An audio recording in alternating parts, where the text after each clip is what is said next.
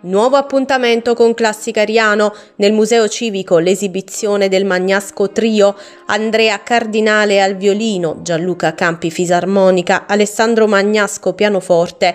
Cardinale è uno dei pochi violinisti al mondo ad eseguire consecutivamente i 24 capricci di Paganini in un unico concerto. Gianluca Campi è considerato uno dei migliori fisarmonicisti italiani. Alessandro Magnasco è un pianista di fama internazionale.